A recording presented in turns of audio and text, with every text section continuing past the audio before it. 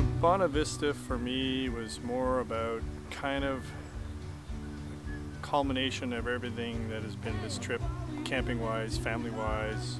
Uh, it was a beautiful campsite, perfect for the big tent city that we had.